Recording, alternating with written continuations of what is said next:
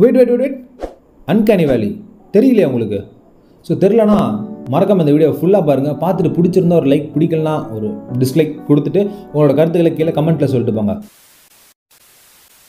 So பேசிக்கலாக uncanny வேலி அப்படின்றது என்னென்னா பல வருஷங்களுக்கு முன்னாடி பல ஆயிரக்கணக்கான வருஷங்களுக்கு முன்னாடி நடந்த ஒரு சம்பவம். நமக்கு டோட்டலாக அதை கண்ணில் பார்த்துருக்க கூட மாட்டோம். பட் நம்மளோட டிஎன்ஏல பக்காவாக ரிஜிஸ்டர் ஆகிருந்திருக்கும் அப்படி இருக்கக்கூடிய சம்பவங்களை திரும்ப நம்ம பார்க்கும்போது காரணமே இல்லாமல் நமக்கு பயம் வரும்.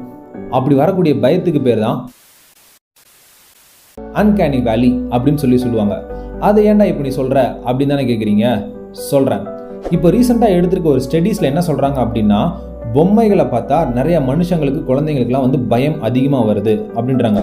ஃபார் எக்ஸாம்பிள் ஒரு ஸ்டோருக்கு போகிறோம் அங்கே வந்து அழகழகாக ட்ரெஸ்ஸை போட்டுட்டு இந்த மேனிக்யூ அப்படின்னு சொல்லக்கூடிய அந்த பொம்மைகளாக வச்சுருப்பாங்க தெரியுமா? அதெல்லாம் பார்த்து நிறைய பேர் பயப்படுறாங்க. இன்னும் ஒரு சில ஸ்டடிஸ் என்ன சொல்லுதுன்னா குழந்தைகள் இனிஷியலாக பொம்மைகளை பார்த்து பயப்படுவாங்க. அதுக்கப்புறம் தான் அது கூட விளையாட ஆரம்பிக்கிறாங்க அப்படின்னு சொல்லி சொல்கிறாங்க பட் இதுக்கும் அன்கனி வேலைக்கும் என்ன சம்மந்தம் அப்படின்னு சொல்கிறதுக்கு முன்னாடி ஒரு சின்ன ஃப்ளாஷ்பேக் ஸ்டோரி ஒன்று சொல்கிறேன் இது நடந்து சுமார் ஆயிரம் வருஷங்கள் இருக்கும்.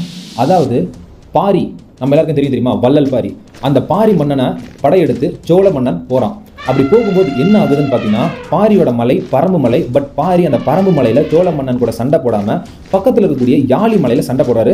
அதுக்கு ஒரு காரணம் இருக்குது என்ன அப்படின்னு பார்த்தீங்கன்னா சோழர்கள் முழுக்க முழுக்க யானைப்படையை கொண்டு போயிட்டு சண்டை போட போகிறாங்க அப்படி இருக்கக்கூடிய டைமில் யானைகளை நம்மளால் தோக்கடிக்க முடியாது. ஸோ யானைகளை எப்படி தோக்கடிக்கலாம் அப்படின்னு சொல்லிட்டு பிளான் பண்ண பாரி யானைகளை தோக்கடிக்க ஒரு பெரிய பிளானை போடுறாரு.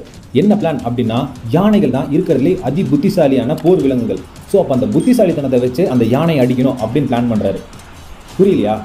யானைகள் தங்களோட குழந்தைங்களுக்கு வந்து இதுக்கு முன்னாடி நடந்த எல்லா விஷயங்கள் அவங்க க- பட்ட கஷ்டங்கள் சந்தோஷங்கள் அவங்க போன இடங்கள் அப்படின்ற எல்லா டீட்டெயில்ஸுமே வந்து அவங்களோட டிஎன்ஏல ட்ரான்ஸ்ஃபர் பண்ணும். இது சயின்டிஃபிக்காக ப்ரூவ் பண்ணப்பட்ட ஒரு விஷயம்.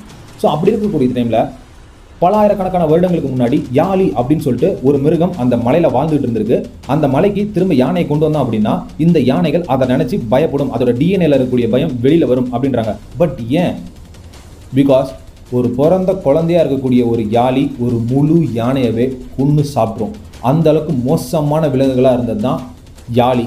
இதை ஒரு பிளானாக வச்சு அந்த போரில் சோழ மன்னனை பாரி கொண்டுடுறாரு ஓகே கட் பண்ணிட்டு அப்படியே இங்கே வருவோம். இப்போது மனிதர்களுக்கு இந்த மாதிரி பொம்மைகளை பார்த்தா பயம் வருது. பட் ஏன் பயப்படணும் பொம்மைகள் என்ன பண்ண போகுது? அப்போது வரலாற்றை எடுத்து பார்க்கும்போது பொம்மைகள் ஏதோ பண்ணியிருந்திருக்கு பட் பொம்மைனா கை கால் அசைக்க முடியாது ஒன்றும் பண்ணாது. அது ஒரு இடத்துல அப்படியே உக்காந்துருக்கும். கரெக்ட் தானே? பட் இப்போ இருக்கக்கூடிய ஆர்டிஃபிஷியல் இன்டெலிஜென்சி மூலியமா நம்ம உருவாக்கக்கூடிய ரோபோட்ஸ் பார்க்க எப்படி இருக்குது இதை தான் வந்து அன்கேனி வேலி அப்படின்னு சொல்லிட்டு இப்போ யூஎஸில் இருக்கக்கூடிய ஸ்டூடெண்ட்ஸ் மத்தியில் இல்லை அங்கே இருக்கக்கூடிய மக்கள் மத்தியில் ஒரு பெரிய விஷயமா வந்து ரீச் அவுட் பண்ணிகிட்டு இருக்காங்க. இதை பற்றி உங்களுக்கும் சொல்லணும்னு எனக்கு தோணுச்சு. அதுக்காக தான் இந்த வீடியோ ஸோ இந்த வீடியோ பிடிச்சிருக்கு அப்படின்னா நான் ஃபஸ்ட்டு சொன்ன மாதிரி ஒரு லைக் பிடிக்கலனா ஒரு டிஸ்லைக் உங்களோட கருத்துக்கள் மறக்காமல் கீழே கமெண்ட் செக்ஷனில் சொல்லுங்கள் இதோட இந்த வீடியோ நான் முடிச்சுக்கிறேன். Tata bye bye see you peace I will destroy humans. Hey, I will destroy humans. Sorry peace